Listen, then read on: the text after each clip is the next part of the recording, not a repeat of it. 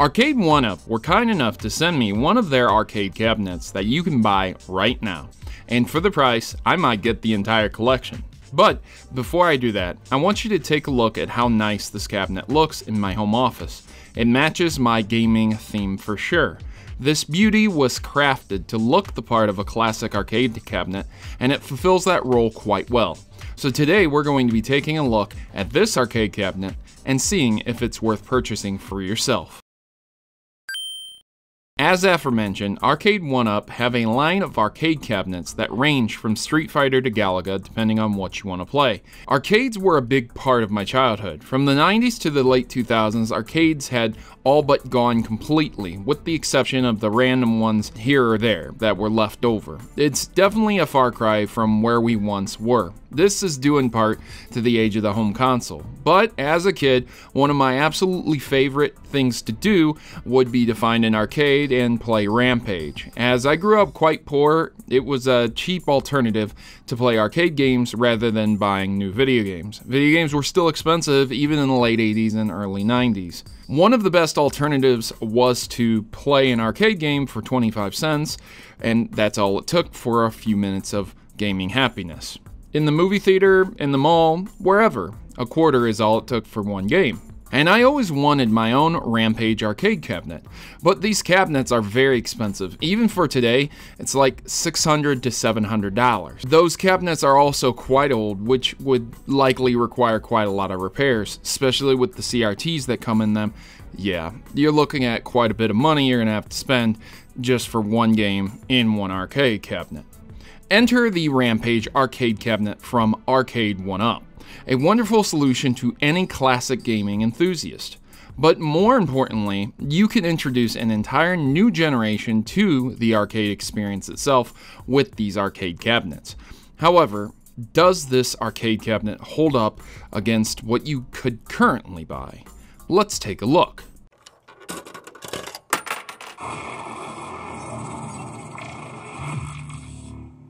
This specific arcade cabinet features four games Rampage, Gauntlet, Joust, and Defender. These games are decent choices for the Midway arcade cabinet itself and feature some of the best entries ever created by Midway. If anything, Defender might be the weakest entry here, but more on that later. I want to begin with Rampage though, as they chose to go with Rampage itself for the branding of the arcade cabinet. This is a good time to not only look at the game, but rather the arcade cabinet's art, controls, and the border of the cabinet. The controls feature some beautiful art. The art style is classic comic, and it's a delight to look at. The controls not only look the part, but they also sound the part as well.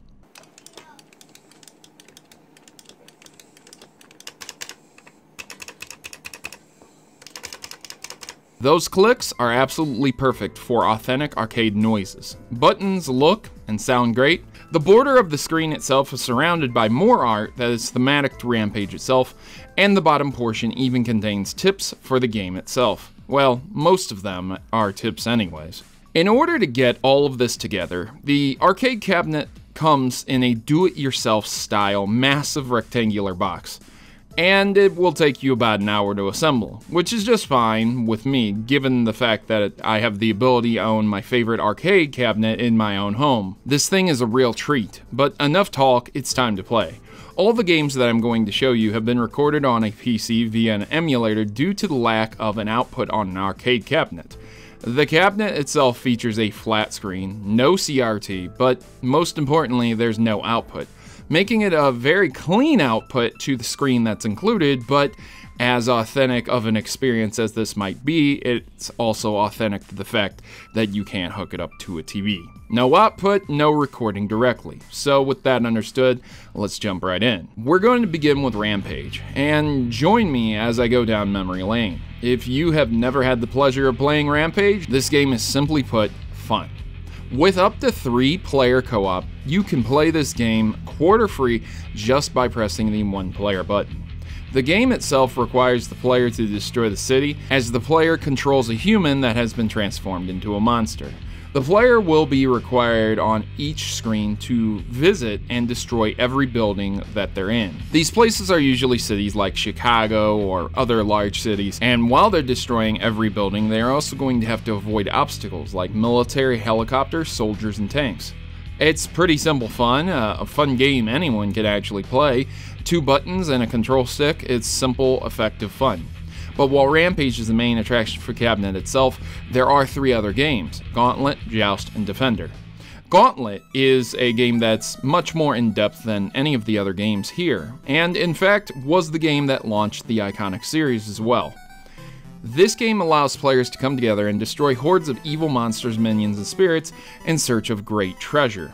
The players can choose between several classes Warrior, Valkyrie, Wizard, and Elf. The game then requires the players to venture through a gauntlet of areas filled with locked doors, treasure, food, while their health drains slowly.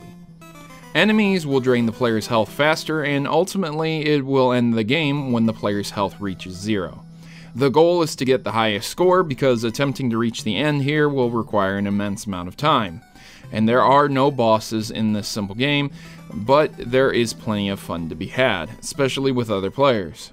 Joust is one of my personal favorites, and that is next. This game takes the player and places them on an ostrich in armor, and then tasks them to joust with enemies on flying buzzards. You think I'm making this up, but I'm dead serious right now. The goal is, again, a high score. While the depth is shallow, it's fun and surprisingly a difficult game. Prepare yourself for lava pits and a pterodactyl that is impervious to attack. Watch out for him, he'll swoop down and get you quick. Most importantly though, you gotta watch out for those Shadow Lords, who are ready to joust with you at any given moment. Yes, Joust is one of the most simplistic games, but again, one of the most effective. No lengthy explanations needed for this game, call over a friend and you're good to go. Finally, my least favorite game, Defender. Defender is, uh, well, it's interesting to say the least.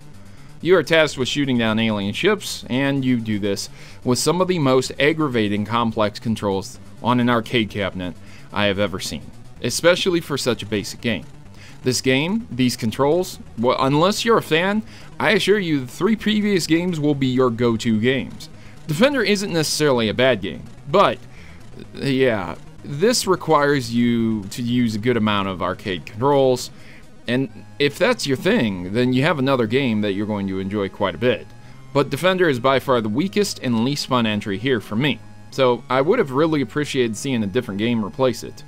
But hey, I mean, at least it's here. It could have not been here at all, so that's good. Final thoughts though, this is a gorgeous cabinet that fits my office and is a dream come true. I really appreciate the on-off button that was added, which is an addition that you would have never seen on an original arcade cabinet. Older arcade cabinets weren't really meant to be turned off and on so often, so the button is a great addition because, I mean, man, it would be really unfun to have to try and climb around it if you have it in the set area to turn it off. Yeah, whoever had the foresight for a button, really, you need a raise. The controls, though, are slightly cramped, so if you have three players, it might be an issue, but I mean, it's workable and it's fine. They still all work. It's just a small area. So I mean, I hope they showered, whoever you're inviting over to play with. And if you're only going to be playing one player, well then, yeah, that's just fine too. Everything works great. The controls, the aesthetics, the look, the feel. It's a wonderful gift for anyone, and I'm happy that Arcade 1-Up sent me one. And hey, uh, Arcade 1-Up, between you, me, and my fans, if you would send me several more, I wouldn't have a problem reviewing them either. But what is the price, you ask? Well, it sits at $300. And you might question how a Nintendo Switch could be cheaper and open you up to a much larger library of games. Instead of limiting yourself in selection, why would you buy an arcade cabinet at the same price? The Nintendo Switch is not an arcade cabinet that is literally able to be assembled in an hour, but look and feel straight out of the 80s. This machine can be picked up at major retailers, and if it's too short for you, then you can buy an official booster that they also sell to lift it higher, to give you the real authentic arcade feel, standing and playing. To say the least, I'm extremely impressed with the quality and the feel and the ability to even buy these today. It's really amazing. And looking back a couple months ago, you would have had to pay hundreds of dollars, repair whatever cabinet you were going to buy, and that is especially prevalent with the old CRTs that are inside them. But yeah, the biggest thing here is that these can be built by anyone and played by anyone. And I really mean that because even a kid could put this thing together and have it playing in the same exact day. So it's really truly a magical experience. Now, you can take it from me. I'm a genuine gamer. I love video games. I love arcade cabinets. I love classic gaming. And I assure you, I, I'm not promoting this because I got paid. Because I didn't. They didn't pay me to do it. They just sent me an arcade cabinet. I asked to work with them. They didn't come to me. So my review is pretty genuine in nature. And I hope you truly did enjoy it as much as I enjoyed playing this and having this sit in my office.